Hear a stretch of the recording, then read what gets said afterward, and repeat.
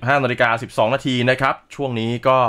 ออกจากการเมืองสักนิดหนึ่งอืมนะครับไปกันนะที่เรื่องน้ำกันบ้าง ครับผมนะครับอย่างที่เราพูดคุยช่วงแรกว่าพายุโซเดลเข้ามา มาแล้วครับนะฮะอืมเคลื่อนตัวด้วยความเร็วประมาณ 30 กิโลเมตรต่อชั่วโมงครับนะครับตรงกลางเนี่ยประมาณ 65 กิโลเมตรต่อชั่วโมงนะเป็นครับโซนร้อนอยู่นะตอนนี้แต่นะคคารัดบว่าจะอ่อนกำลังลงอย่างรวดเร็วนะครับอืมจะเป็นอย่างไรกันบ้างนะครับ ไปพูดคุยกันดีกว่าครับ นะครับกับท่านรองเลขาธิการสำนักงานทรัพยากรน้ำแห่งชาติครับในฐานะเลขานุการกองอำนวยการน้ำแห่งชาติ คุณสำเริงแสงผู้วงครับ สวัสดีครับ สวัสดีครับท่านเลขาครับ ครับสวัสดีครับ คุณชุติภพคุณจิรายุครับ ครับผมเป็นยังไงบ้างครับ ในตอนนี้น้ำท่าตอนนี้รู้สึกว่าเขื่อนที่โคราชนี่น้ำจะเต็มหมดแล้วมั้งครับเนี่ยลำพะเพลิงลำตะคองอะไรต่างๆท่านครับอืมครับ ผมลำลำพระเพลิงกับลำตะคองตัวนี้ถือว่าเต็มกับจุแล้วอืมครับนะครับ ในส่วนของลำพระเพลิงเนี่ยก็มีการน้ำก็ล้นหลากทางระบายน้ำล้นลงมาครับได้สองสามวันแล้วนะครับ ก็อืมตอนนี้ก็ค่อนข้างทรงตัวแล้วครับ น้ำที่เข้ากับน้ำออก ลำพอืระมเพลิงเนี่ยเอ่อเต็มกับจุแต่ละมีการบานที่บังคับตรงทางระบายน้ำล้นอยู่ก็คืออมไม่ได้บายออกมาอ๋อเพราะว่ายังด้านล่างยังมีน้ำเออเต็มลำน้ำอยู่ไม่อยากอ๋อทางทางหน่วยงานก็ไม่อยากให้มาสมทบให้มากครับให้เคลียร์น้ำด้านล่างออกก่อนอ่าฮะเพราะว่าลำตะคองเนี่ยส่วนหนึ่งจะผ่านตัวเมืองนครราชสีมาด้วยอ๋อนะครับก็พยายามประคองตรงนั้น เพราะตรงลำน้ำตรงตัวเมืองเนี่ยค่อนข้างอืมค่อนข้างเล็กแคบฮะแล้วก็รับเอ่อรับน้ำได้น้อยนะครับ ก็เป็นการช่วยเหลือกันตรงนี้ ก็ถือว่าสถานการณ์เหล่านี้อืม เออผลดีมากกว่าผลเสียด้วยซ้ำเพอ๋อราะว่าที่ผ่านมาสองปี น้ำน้อยอีสานอืมตอนล่างไม่มีน้ำเลยครับทีนี้ทั้งทั้งลำตะคองเต็มเต็มเปรี้ยเลยลำพะเพลิงอืมเต็มนะครับฮะมูลบนเนี่ยก็มีถึงมูลบนก็ถือว่าอ่าแปดสิบกว่าเปอร์เซ็นต์ด้วยซ้ำเนี่ยครับมูลบนลำแป้ลำนางรองที่อยู่บุรีรัมย์ฮะถือว่าดีหมดเลยครับ อ๋อนี่เป็นส่วนที่ดีนะครับ ก็มีระวังอยู่บ้างในสองสามวันที่ผ่านมาก็คือลำมะเพลิงเนี่ยครับท้ายลำมะเพลิงจะผ่านชุมชนตัวอำเภอปักธงชัยอ๋อก็ได้ยินข่าวน้ำท่วมสังเกตไหมครับน้ำท่วมใช่ปักธงชัยแล้ววันนี้วันนี้ผมลงพื้นที่ที่เอ่อนครราชสีมาด้วยเพื่อครับกำลังเดินทางกลับนะครับ ดูทั้งปักตงชัยดูทั้งผ่านลำตะคอง ก็สถานการณ์น้ำค่อนข้างเอ่อคงตัวแล้วอืมเอ่อปักตงชัยมีการเคลียร์พื้นที่ออกแล้ว เหลือท่วมเฉพาะที่ลุ่มต่ำบางจุดเท่านั้นอืมนะครับคาดว่าพรุ่งนี้ก็คงที่คลายหมด ตัวเมืองนครราชสีมานะครับ ก็มีการจัดจราจรทางน้ำโดยกรมชนก็มีการผันน้ำไปลงไปลงบึงนะครับเป็นบึงอ่าพุทรา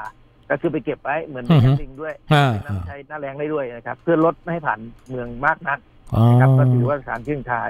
ก็มีส่วนที่ต้องเฝ้าทางด้านท้ายครับอืมคือทั้งสองลำเนี่ยก็ไปลงลำน้ำมูลแน่ๆ แล้วก่อนครับที่ลงน้ำมูลในส่วนของตัวเมืองนครราชสีมาเนี่ยผ่านตรงแถวเอ่อบริเวณทุ่งสำริดอืมครับที่อ่าตรงด้านนู้นนะครับ ก็จะจะมีปัญหาที่ลุ่มต่ำนิดนึงนะครับ ก็อำเภอพิมายอะครับครับ ก็คาดว่าวันนี้ลำดับน้ำใกล้ ๆ จะอยู่ตลิ่งแล้วอืมคาดการณ์ว่าสักเจ็ดวันข้างหน้าเนี่ยครับน้ำน่าจะสูงกว่าตลิ่งสักประมาณ 20-30 เซนอืมแต่เขามีการควบคุมที่ในการกันบริเวณที่สำคัญอาคารต่างครับๆแล้วก็เคยเกิดที่ระดับสูงวันนี้ แล้วก็มีการเอ่อมีระดับของเดิมอยู่ ก็ทำเกณฑ์ตรงไหนที่มีพื้นเสี่ยงก็เริ่มเริ่มดำเนินการทำตอนนี้ แล้วก็ท้ายๆ ก็พยายามใช้เร่งน้ำระบายออกไปลำน้ำมูลตลอดทางเลยครับอืมตั้งแต่อุบล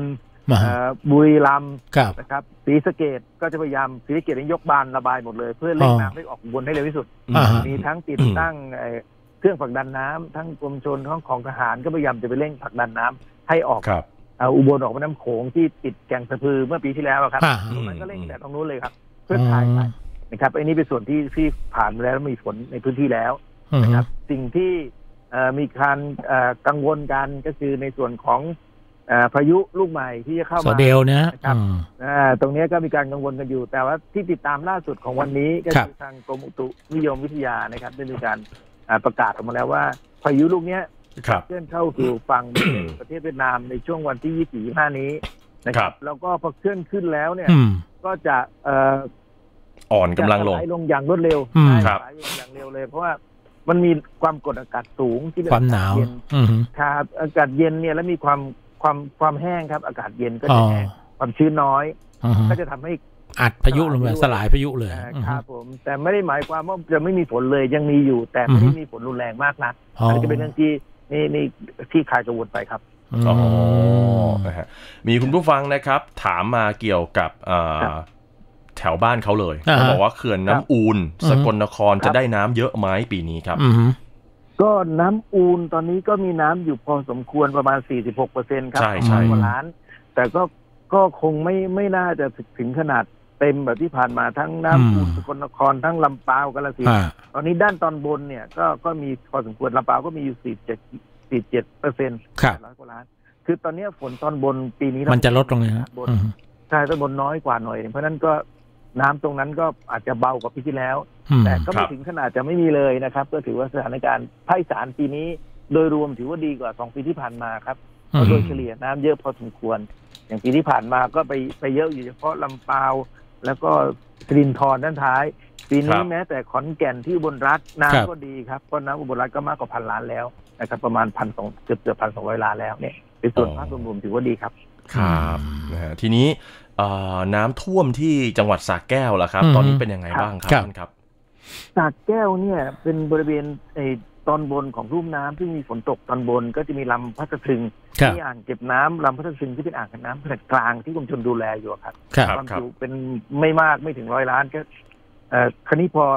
เอ่ออ่างเก็บน้ำที่ความจุไม่มากเนี่ย พอฝนตกหนักๆก็มีการล้นข้ามครับ อืมก็มีการล้นล้นล้นข้ามนี่คือล้นข้ามทางลำน้ำล้นธรรมดานั่นแหละครับแล้วก็ฝนตกบริเวณนั้นท้ายด้วยอืมก็เลยเป็นน้ำหลากลงลงมาด้านล่างครับแต่ตอนนี้สถานการณ์เหล่านี้ก็ก็ถือว่าเอ่อขี้คายพอสมควรนะครับ ก็ในช่วงครับของวันสองวันนี้ก็น่าจะหมดปัญหาไปครับอืมอ๋อหมดจากโซเดลแล้วเนี่ยนะครับ พายุที่จะมาทางด้านของอีสานทางด้านของตะวันออก หรือว่าแม้แต่ทางเหนือ น่าจะหมดแล้วมั้งฮะฤดูฝนน่าจะเอ่อน่าจะหมดด้านไปแล้วเหไหมนือลงมาถึงภาคอืมกลางเนี่ยอืมดูดูสภาพอากาศแล้วน่าจะหมดแล้วเที่ยวนี้อืมนะครับ ซึ่งโดยปกติหมดก่อนหน้านี้แล้วด้วยซ้ำนั่นน่ะเพราะสิทุฮะกครั้งเนี่ยอืมเดือนตุลาคมเนี่ยครับส่วนใหญ่อ่าร่องความกดอากาศ หรือร่องมรสุมต่างๆ ก็จะลงในส่วนของเพชรบุรีลงไปแล้ว อ่า ต่ำลงไปเพราะฉะภานั้คนในใต้ส่วนเนี้ยอ่าหลังจากช่วงนี้ถ้าเกิดเหตุมีร่องมรสุมแต่ค่อยๆเลื่อนลงครับอืมมันแต่ว่าเพราะฉะนั้นในข้างบนเราหมดคลายกังวลไปอืม แต่ตอนนี้ต้องไปเฝ้าระวังภาคใต้ลงไปแล้วนะครับ ตั้งแต่เพชรบุรีประจวบชุมพรลงไปนะครับอืมก็แต่ตอนนั้นก็ยังมีแหล่งน้ำที่ยังรองรับน้ำได้เยอะครับครับฝั่งตะวันตกที่กาญจนบุรีอ่าเขื่อนวชิราลงกรณ์กับศรีนครินทร์เนี่ยวันนี้น้ำเรายังน้อยอยู่ถือว่าน้อยเลยล่ะอ๋อถ้าเทียบกับที่เราต้องมาพึ่งพาผลักดันน้ำเค็มฮะของกรุงเทพของเจ้าเจ้าพระยาครับ ปีที่แล้วเราใช้น้ำมาผลักดันใช้ใช้ใช้เยอะนะแล้วปีที่แล้วน้ำมันก็เหลือเยอะด้วยนะ ปีนี้เหมือนจะเหลือน้อยใช่ไหมฮะอือฮึ ครับผมเหลือน้อยเหลือเหลือพอสำหรับของเขาพอเท่านั้นนะครับ แต่อืมไปพึ่งพามาช่วยก็ลำบากหน่อย ก็รออมตอนด้านท้ายเนี่ยนะครับ ตุลาอืมพฤศจิกาน่าจะยังพอมีมรสุมตะวันตกเฉียงใต้ซึ่งเข้าผ่านด้านตะวันตกอันดามันอ่าลงมา เพราะฉะนั้นแต่กาญจนบุรีเพชรบุรีนะครับ ประจวบเขื่อนปรานบุรีอย่างเงี้ยน่าจะรอเก็บน้ำในช่วงนี้ ก็คงต้องเฝ้าระวังกันต่อไป ก็ต้องลุ้นให้ให้ให้เข้ามาบ้างนะครับอืมสถานการณ์คือต้องมีการคาดการณ์กันเป็นระยะระยะต่อเนื่องครับ ครับอ๋อเขื่อนศรีนครินทร์เนี่ยมีน้ำอยู่ 73%แล้วก็จริงอืมแต่ว่าเป็นเขื่อนขนาดใหญ่ไงอืมใช่ไหมฮะความจุเยอะยังมีที่ว่างเยอะมากมีที่ว่างเยอะที่ว่างเยอะมากครับอืมปีนี้กรินเขาปีความจุถึงเอ่อประมาณหนึ่งหนึ่งหมื่นเจ็ดพันล้านหมื่นเจ็ดพันครับล้านจะรองรับได้เยอะอืมใช่ครับอืมนะฮะทีนี้เอ่อได้ได้มีโอกาสคุยนะฮะ พูดคุยกันข้ามประเทศวันนั้นนะฮะกับทางนักจัดรายการวิทยุนะฮะอือฮึของทางอ่าประเทศกัมพูชาอืมนะครัฮะบก็คุยกันเกี่ยวกับสาแก้วครับเขาบอกว่าอืมอ่าการที่เราเร่งระบายน้ำเนี่ยอืมนะครับบางทีมันก็กระทบไปถึงเขาเหมือนกันอืมตรงเนี้ยอยากถามเป็นความรู้ฮะว่าอืมเอ่อเวลาที่เราจะระบายน้ำอืมในจังหวัดที่มีพรมแดนติดกับประเทศเพื่อนบ้านเนี่ยอันนี้เราอืมต้องแจ้งเขาก่อนไหมครับอืมหรือว่าเราก็ก็ปกจัดการของเราได้เลย ปกติปกติเราจะมีสถานข้อมูลกันครับ อ่าสถานข้อมูลแต่แชร์ข้อมูลกันก็ต้องแจ้งให้เขาทราบเหมือนเหมือนที่เราพยายามพยายามประสานข้อมูลจากจีนจากลาวอืมที่มีข้อมูลอย่างเงี้ยเป็นต้นครับแจงน้ำโขงเป็นความร่วมอืมมือระหว่างประเทศเป็นคือส่วนของสทชเองก็รับผิดชอบในส่วนของน้ำบริหารจัดการน้ำระหว่างประเทศไปด้วยอ๋อแต่ในส่วนนี้ก็จะเป็นการเชื่อมโยงระบบข้อมูลกัน แต่อ๋อกระบวนการในการจัดการควบคุมน้ำเนี่ยคงทำได้ลำบากแหละเพราะเป็นอืมแม่น้ำระหว่างชาติเนี่ยอืมไม่สามารถจะไปสร้างเขื่อนสร้างประตูเอ่อ ระหว่างนี้ได้ก็จะจัดการลำบากเป็นการแจ้งเตือนไปว่าเรามีน้ำฝนตกขนาดนี้นะอืมน้ำระบายในขนาดนี้ครับ ก็จะได้ดูแลป้องกันของเขาอือืมมนะฮะก็เรียกว่าไม่ได้แบบว่าเอ่อปล่อยโดยไม่ถามกัน จริงๆแล้วก็เป็นความยินยอมของทั้งสองฝ่ายเนาะอืมใช่ครับนะครับใช่ครับอืมใช่ครับแล้วก็ไหนๆไหนพูดถึงเรื่องทรัพยากรน้ำไปแล้วอืมนะครับครับเอ่อช่วงที่มีข่าวนะฮะก่อนหน้าเนี้ยนานละอืมนะที่เขื่อนเซเปียนเซน้ำน้อยในลาวนะฮะสปป.ลาวเนี่ยแตกอืมนะครับ เพราะว่าเอ่อเขาเนี่ยเร่งอืมนะในการที่จะครับเป็นแบตเตอรี่แห่งอาเซียนอืมประเทศไทยสามารถเอ่อทำแบบนั้นได้หรือไม่เพราะว่าก็มีอืมคอมเมนต์บางส่วนว่าอืมเอ่อเราน่าจะหันมาผลิตพลังงานของเราเองด้วยวิธีนี้บ้าง แล้วก็ขายให้กับประเทศอื่นทำโครงทำเขื่อนผลิตไฟฟ้าเนี่ยนะฮะๆอันนี้ยังไอเดียทำนี้ได้ไหมฮะเอ่อคุณสำเริงมองว่าอย่างไรครับอืมครับ คือจริง ๆ แล้วบ้านเราเนี่ยก็มีการไฟฟ้าฝ่ายผลิตที่เราผลิต กระแสไฟฟ้าจากเขื่อนขนาดใหญ่อยู่แล้วครับนะครับเพียงแต่ว่าการผลิตกระแสไฟฟ้าเนี่ยหลักการก็คือว่าระดับน้ำที่จะใช้ขับเคลื่อนตัวมอเตอร์เออเครื่องปั่นกระแสไฟฟ้าเนี่ยครับต้องมีระดับสูงพอสมควรเพราะฉะนั้นเขื่อนจะเก็บสังเกตว่า เขื่อนศรีนครินทร์เขื่อนอืเขื่อมนกรเขื่อนภูมิพลสิริกิติ์เนี่ยอืมระดับน้ำที่เราใช้คำว่าเดสโตเลตจะมีปริมาณสูงมากครับนั่นแปลว่าตัวท่อที่ปล่อยลงมาเนี่ยอืมใช้แรงดันของความสูงของน้ำในการขับเคลื่อนอืมอืมจุดที่เหมาะในการก่อสร้างที่เขื่อนที่มีความจุและระดับน้ำสูงๆเนี่ยครับในบ้านเราไม่ค่อยจะมีที่ก่อสร้างแล้วอ๋ออันนี้เป็นส่วนหนึ่งนะครับ และในจุดที่มีเนี่ยเราก็สร้างยาก จุดครับที่มีก็จะเป็นจุดในเขตป่าเขตอุทยานอย่างเงี้ยซึ่งมันก็จะกระทบกับในเรื่องของพื้นที่อนุรักษ์อย่างนี้เป็นต้นนะครับ ก็จะลำบาครักบเพราะฉะนั้นก็จะไปแค่เป็นจุดเล็ก ๆ อย่างอ่าอย่างในสปปลาวก็จะสร้างเป็นเขื่อนระบายน้ำอืมครับก็พอเขื่อนระบายน้ำในการกระปั่นเนี่ย พื้นที่ในการเก็บกักก็ต้องด้านบนก็ต้องท่วมเยอะอืม สครัมบมติว่าเราเอาเขื่อนเจ้าพระยาอย่างนี้นะอ่าถ้าเราปิดเพื่อปั่นกระแสไฟฟ้าสมมตินะครับนั่นแปลว่าตอนบนของเจ้าพระยาจะเห็นไปหมดเลยนะชัอืนาทก็มท่วมกันอย่างเงี้ยเป็นต้นอืมบ้านเขาไม่ได้มีชุมชน ไม่ได้มีเอ่อหมู่คนอะไรมากมายอืมก็พื้นที่ท่วท่วมมได้อืมอืแต่มบ้านเราลำบากแล้วอืมยอมรับว่าบ้านเราลำบากแล้วที่จะทำแบบนั้น เพราะพื้นที่ต่างๆเราใช้ประโยชน์กันหมดแล้วนะอืครับมขนาดเราสร้างตัวเล็กๆยังสร้างลำบากเลยครับอืมครับพูดถึงเรื่องทรัพยากรน้ำครับครับ เกี่ยวแผนงานระยะสั้นที่สุดของสนชตอนนี้อืมนะครับ ที่จะขับเคลื่อนเนี่ย มีแผนงานครับอะไรบ้างครับอืมคือระยะสั้นของเราตัวเนี้ยวันเนี้ยส่วนใหญ่เราเป็นเรื่องของการแก้ปัญหาเฉพาะหน้าถูกไหมครับครับ อย่างหน้าหน้าฝนหน้าท่วมก็พยายามจะแก้ปัญหาโดยหาทางผ่านน้ำน้ำท่วมอย่างเงี้ยพอหน้าแรงตอนนี้มีมาตรการที่จะแก้ปัญหาแรงพรุ่งนี้จะมีการประชุมคณะอนุกรรมการอำนวยการบริหารจัดการน้ำที่ท่าน รองนายกรัฐมนตรีพลเอกประวิตรวงษ์สุวรรณเป็นประธานพรุ่งนี้ประชุมเสร็จจะมีนำเสนอมาตรการในการเตรียมการปัญหาเรื่องแรงปีหน้าด้วยอืมถึงแม้เรามีบอกเรามีน้ำท่วมนะครับ แต่มีหลายพื้นที่ที่ยังเสี่ยงแล้งอยู่ใช่นะพี่นี้พรุ่งนี้จะมีการกรองดูว่าตรงไหนเสี่ยงแรงบ้างเกี่ยมเพลิงกิ่งวัด และกำหนดมาตรการไปต้องทำอะไรบ้างเร่งด่วนของเราคืออย่างนี้ วันนี้เตรียมแผนแรงแรงปีหน้านี่เป็นต้นนะครับอืมแต่ครับแผนระยะที่สำคัญแผนระยะยาวต้องเดินอืมแก้ปัญหาแล้งเนี่ยเรื่องหลักๆก็คือทำยังไงจะต้องมีเก็บน้ำฝนแบบเนี้ยอืมไว้ใช้เอ่อ ฝนตกเราวันนี้ไม่มีที่เก็บเราก็เร่งระบายออก อืมเต็มเต็มทุกเขื่อนแล้ว เราก็ต้องระบายออกอย่างเดียวแล้วถูกไหมครับครับ เพราะฉะนั้ครับนถ้าจุดไหนมีน่าเหลืเสียอแล้วดายเราเก็บน้ได้ำอืมอ่าเนี่ยก็นี่เป็นส่วนหนึ่งที่แผนระยะยาวแผนระยะแรกก็คือฝนที่มีอยู่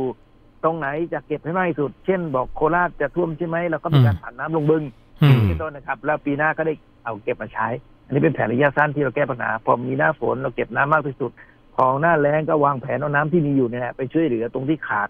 นะครับอืมโดยกำหนดมาตรการล่วงหน้าก่อนนะครับ ก็เลยคาดการณ์ว่าถ้าพรุ่งนี้มีมาตรการเข้าและเข้าครมแล้วเนี่ยแรงปีหน้าเราน่าจะเอ่อมีน่าจะเบากว่าปีที่ผ่านมา พอสมควรนะครับอืมเราเดินเดินตั้งแต่ต้นต้นฤดูแล้งครับ ครับอืมนะฮะเอ่อมีคุณอ่าคุณผู้ฟังนะครับอืมบอกว่าเสนอทำท่อน้ำเป็นใยแมงมุมทุกเขื่อนถึงกันเขื่อนอืมในน้ำเต็มระบายดูดอืมส่งท่อใหญ่มัๆนที่เป็นจะใยไหวแมงไหมมุมส่งไปอืมเขื่อนน้ำที่ยังน้อย อาจลงทุนพอประมาณแต่ระยะยาวประชาชนน่าจะได้ประโยชน์น้ำพอสมควร อันนี้คุณสมเริงมองว่าไงครับจริงๆโดยหลักการในแง่วิชาการและวิศวกรรมเนี่ยทำได้ทุกจุดครับ และอืมโครงการเหล่านี้เราเคยพูดคุยกันมาหลายสิบปีแล้วด้วยซ้ครับอืมำนะครับ อย่างเช่น โครงการโขงเลยจีมูลโขงจีมูลอืมที่เราพูดถึงนะครับอ่าโครงผ่าการนน้ำกันเติมน้ำขวนภูมิพลโครงการอืมผันน้ำเอ่อป่าสากลำตะคองเรามีโครงการอย่างนี้หมดเลยครับอืมครับ แต่ปัญหาที่เกิดขึ้นมีหลายส่วนด้วยกันเหมือนคกันรับอย่างเช่นเนี่ย อ่าอันดับแรก ๆ เลย ต้นทุนค่าก่อสร้างแน่นอนอืมงบประมาณที่ใช้สูงครับอันดับที่สองก็คือปัญหาผลกระทบสิ่งแวดล้อม ผลกระทบชุมชนอืมงานทุกงานที่มีผลกระทบข้ามลุ่มน้ำต้องมีการศึกษาก่อนว่ากระทบส่วนไหนบ้างครับแม้แต่เอ่อทำท่อส่งน้ำลอดใต้ภูเขาในแง่หลักวิชาการทำได้ครับอืมแต่การลอดใต้ภูเขาก็จริงก็ต้องมีการศึกษากันว่าส่วนไหนกระทบบ้างอืมแล้วก็การทำงานลักษณะเนี้ย ใช้เวลาผ่านมาเฉพาะแค่การศึกษาอย่างเดียววันนี้เรายังไม่ผ่านเลยนะครับครับการผ่านน้ำเติมน้ำเขื่อนวิพลจากบริเวณเอ่อลำเอ่อด้านตะวันตกของประเทศเนะครับก่อนลงสาวินมาเติมพูนพลเนี่ยมีผลศึกษาเรียบร้อยได้ด้วยซ้ำแต่อยู่ระหว่างการเอ่อขออนุญาตผลกระทบสิ่งแวดล้อมนะครับอืมครับ ในเรื่องของสิ่งแวดล้อมอย่างเงี้ยเป็นเรื่องอย่างเงี้ยอีกพอสมควรภาคอีสานเนี่ยก็มีโครงการโขงเลยชีมูลครับ ที่พยายามจะเก็บน้ำที่จะไหลลงแม่น้ำโขงตอนบนแถวตั้งแต่ลุ่มน้ำเลย ไม่ทิ้งแม่น้ำโขง จะทำไงที่โยงมาลงอุบนรัฐมาลงลำปาว และมาต่อเชื่อมโยงคล้ายๆกับที่เอ่อโครงข่ายน้ำหรือว่าโครงข่ายไฟฟ้าแบบการไฟฟ้าอืมครับซึ่งทางแง่วิศวกรรมทำได้ครับ ที่สูงก็สูงขึ้นไปใช้งบมากหน่อย แต่ตรงไหนที่ไหลด้วยระบบเอ่อแกวิตี้ก็ปล่อยให้ไหลไปอย่างนี้เป็นต้นครับทำได้ครับ แต่ต้องค่อยๆทำเฉพาะจุดที่คุ้มค่าหรือว่าเอ่อมีกำลังที่จะทำได้พอครับอืมนะครับอะ ก็มีอะไรจะฝากถึงพี่น้องประชาชนเกี่ยวกับการใช้น้ำไหมครับ ครับ ก็แน่นอนยังไงต้องเข้าเข้าสู่หน้าแล้งแล้ว ยังไงต้องตื่นเรื่องการประหยัดอยู่แน่นอนครับครับ ถ้าเราต้นทุนน้ำฝนมีมากแน่นอน แต่น้ำที่เราเก็บไว้เนี่ย ไม่ได้ครอบคลุมหรือเพียงพอกับการใช้น้ำทั้งประเทศ ครับ อ่าตรงส่วนไหนช่วยกันประหยัดได้ก็ต้องช่วยครับ แล้วก็ถ้าตรงไหนมีปัญหาก็สื่อสารถึงภาครัฐสื่อสารถึงท้องถิ่นนะครับ ระบบข้อมูลทุกวันนี้เราเชื่อมโยงระบบราชการทั้งหมด นะครับ ตรงไหนที่จะเอ่อภาครัฐจะช่วยได้ ก็จะได้ดำเนินการแก้ไขปัญหาให้ครับ แล้วก็ขอความกรุณาในเรื่องของการแชร์ข้อมูลข่าวสารที่ลักษณะเป็นข้อมูลที่ยังไม่ได้กรองนะครับ ก็ทบทวนนิดนึงยืนยันข้อมูลนิดก่อนค่อยแชร์ต่อครับครับอืมอะวันนี้ขอบคุณมากๆนะครับ คุณสมเริญครับ ขอบคุณครับครับยินดีครับ สวัสดีครับครับครับสวัสดีครับ